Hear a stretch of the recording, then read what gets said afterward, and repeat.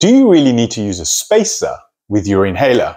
Well, in this video, I'm going to talk about what is a spacer, how it works, and whether you need to use one with your inhaler. My name is Jignesh Sangani. I am a practice pharmacist that specializes in asthma and COPD. If you want to learn more about asthma or COPD, I'd recommend you hit the subscribe button below. So what's the problem with using an inhaler like this? Well, you have a look, when I press this inhaler, you can see it releases a fine mist spray. And that spray comes out fast. Uh, one of the big challenges with using a metered dosing inhaler is that the spray comes out too fast to inhale it properly. There's a study that shows that as little as 20% of the medicine from a metered dosing inhaler reaches deep into the airways. And that means as much as 80% of the medicine is staying in the mouth or hitting the throat. If you think about it, if you could get more of your medicine from this inhaler reaching deep into your airways, how much better would your inhaler work? So what is a spacer? Well, a spacer is a simple plastic tube uh, like this, which attaches to a metered dose inhaler. So inhaler that looks like this.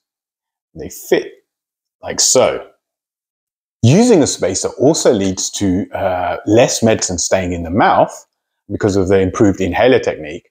This reduces the risk of mouth-related side effects, which are particularly important with steroid inhalers.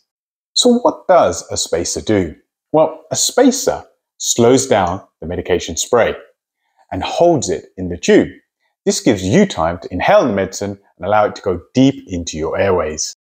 So should you use a spacer with your inhaler? Well, it depends.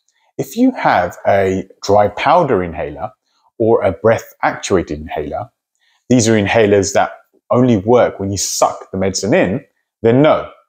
Uh, these type of inhalers are not designed to be used with a spacer. If, however, you have a metered dose inhaler like this, then yes. Why? Well, using a spacer with a metered dose inhaler increases the chances that your medicine can reach deep into your airways where you want it to go and reduces the risk uh, of your medicine staying in your mouth or hitting the back of your throat where you don't want it to go.